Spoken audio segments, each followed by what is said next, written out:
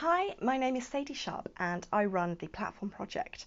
We are currently recruiting for a new voluntary non-executive director to join our board. So I wanted to record this video to tell you a little bit about us and let you know what to expect if you did apply to join us. We were founded in Swindon just over four years ago, and our mission is to reduce the number of young people who are not in employment, education, or training.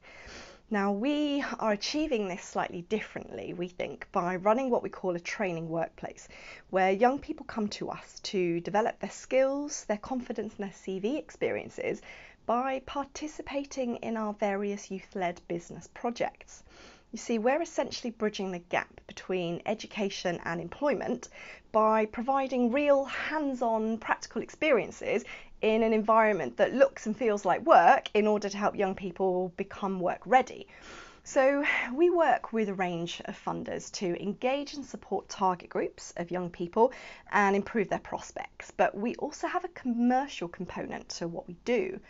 You see, we work with a number of different schools to help them utilise our activities to diversify their curriculum, and we also work with employers to help them access work ready entry level talent, both of which are commercially chargeable services that also still achieve our mission to develop young people's career prospects.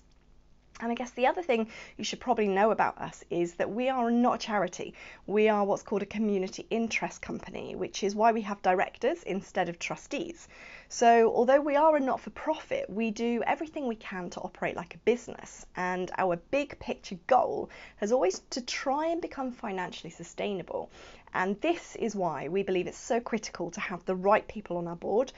We've been so fortunate to date to have had such a commercially strong board with professionals from backgrounds like finance and legal, IT, and business management.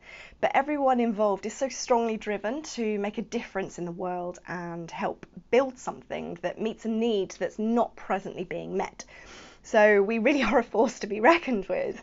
We've grown so quickly since we started four years ago, and our big picture long term goal is to see if we can box up what we do and create a sort of social franchise model that can be scaled up and run in other geographies.